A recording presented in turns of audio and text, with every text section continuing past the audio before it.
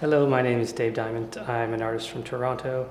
Uh, the piece that I'm presenting here at the Walper as part of CAFKA is titled The Morning Has Gold in Its Mouth, um, which actually comes from the alternate take of Stanley Kubrick's film The Shining. The title comes from uh, an instance in which they shot five or six different versions for international audiences. So in the Italian, Jack types the phrase that translates to "the morning has gold in its mouth," and it's a different sort of aphorism for each country.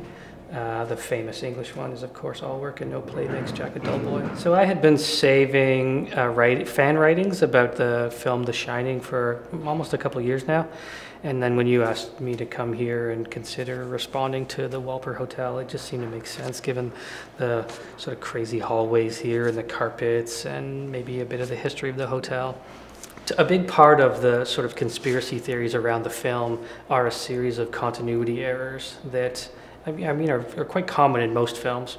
People maintain that Kubrick it was so meticulous that he never didn't make any mistakes. So if there's an inconsistency in the film, it's not there because they were just in a hurry that day or they had to pick up a shot or you know the set burned down which it actually did and they had to recreate it and maybe when they recreated it something was you know shifted a couple of inches they maintain that all of these things are intentional and that they're designed to unnerve the audience or to give away various clues, um, sort of depending on the conspiracy theorist. They're there for various reasons. So I thought it would be funny to have a number of sort of live uh, continuity errors within the hotel. So for one, there's the lenticular mirror, which reflects a bookshelf on my left um, and a stack of five encyclopedias, which are all, all, always here. And in one, the sort of an animated lenticular, one has the a stack of five books and the other has four with one on its side, which is a you know very common continuity error in a lot of movies in which the, the, the books behind the person uh, who is being focused on will shift in various ways. And there's dozens of those in The Shining, from books all of a sudden looking newer than they looked before, or to them leaning one direction and leaning another. But these are just things that we found here on site. And the second is uh, I really sort of wanted to engage the staff a little bit. So I've made eight light, uh, like little um, light switch plates and installed them with magnets around various spaces in the hotel. And the idea is to appeal to the cleaning staff and you know various administrative staff in the hotel and ask them to move them around from day to day. So you, you prob- most people would not notice them because they're pretty innocuous. But if it's right outside your hotel room, or say you're standing and you're waiting for the, the elevator and you happen to notice this light switch, and then when you get back from your dinner, the light switch is no longer there. It's you know 10 doors down somewhere else. Um, it's a sort of a piece for the subconscious more than anything else because I don't think it would register with a lot of people, mm. um, but it may serve to sort of highlight this other aspect of the hotel, which I've uh, noticed a few things about. It's, it almost forms a, a, a, number eight, I think, the architectural floor plan of this floor. Of the, we're on the fourth floor of the hotel here. Um, so it becomes this nice infinity symbol.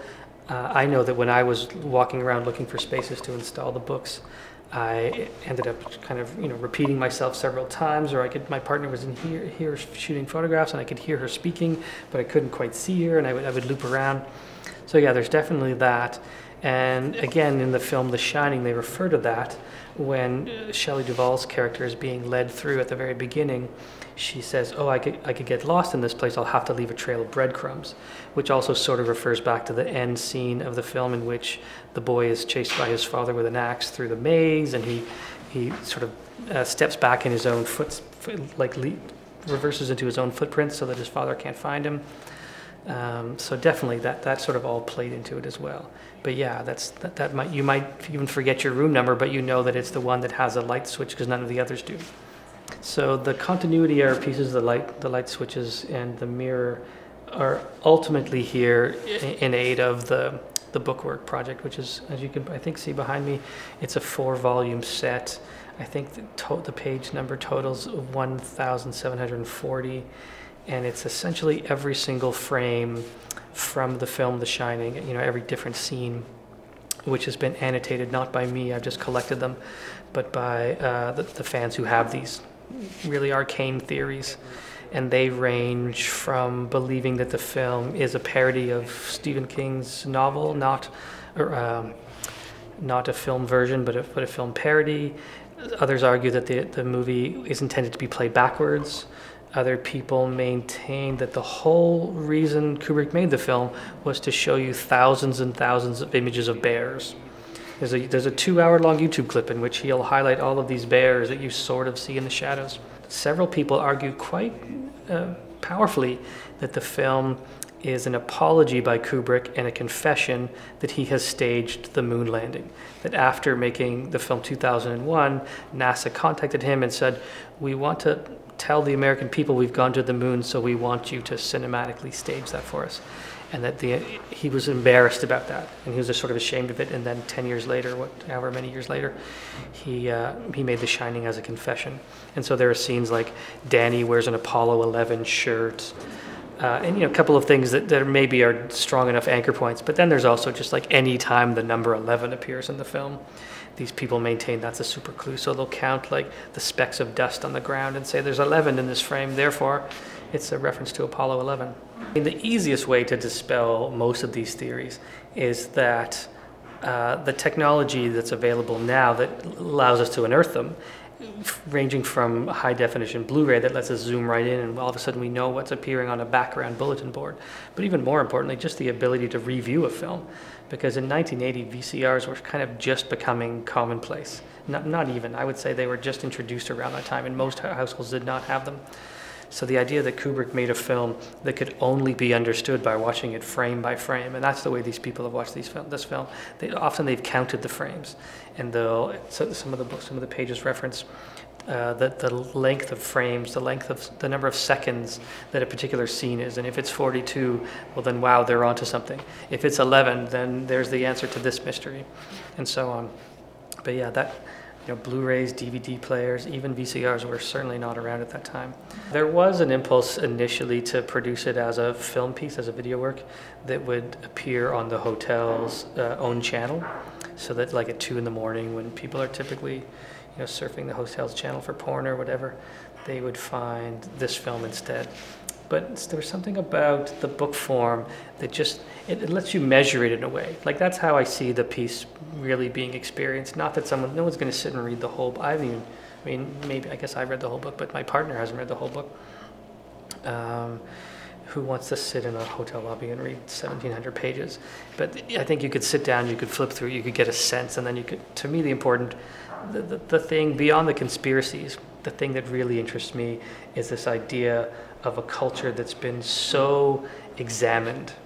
Like that, that there's a film out there, this is probably not the only one, in which every single frame has been dissected by fans and discussed, and then that's formed this, this secondary culture. That's so, you know, the, the conspiracy is almost just the, the Trojan horse to, to look into the piece, but I really like this idea um, that, that we spend that much time, that like people have spent certain fans who've, who've developed these theories have probably spent more time with this movie than Stanley Kubrick did making it, or than Stephen King did writing it, or you know, et cetera, et cetera. Um, that they've devoted their lives to the examination of a film. And it's not unlike people, you know, who maintain that Bruce Lee and Elvis are still alive, or that, um, you know, J- who, who killed JFK. But this is something of zero consequence it's just a movie. It's just a dumb horror movie adapted from a dumb pulp fiction novel, right? Um, but it seems very timely at the same time. Like two weeks ago, we had the, the Boston Marathon bombings, and immediately there were Twitter notices from people like Alex Jones and Glenn Beck and like really right wing talk show hosts implying that something was fishy. Like, oh, I don't know, I think the government did this because they want to take away our guns, or like there's or, or the Saudi national that they first caught. He, you know, that the, they asked him a couple of questions in the hospital. He said, "No, I was just running." They said, "Oh yeah, you're right. Your alibi checks out. See you later." And because that was reported by the New York Post one day and not reported the next, they think that they've discovered something. They think that you know, Obama made a deal with a Saudi prince to let his family member through, or you know, whatever, whatever their imaginations uh, and their paranoia kind of lead them to these are really in the air right now. I read just yesterday that 44% of Republicans think we might need an armed revolution to overthrow our government. Like, that's nearly half. And more than that, less than that disagree. 44% maintain yes, 26% say no, or something along those lines.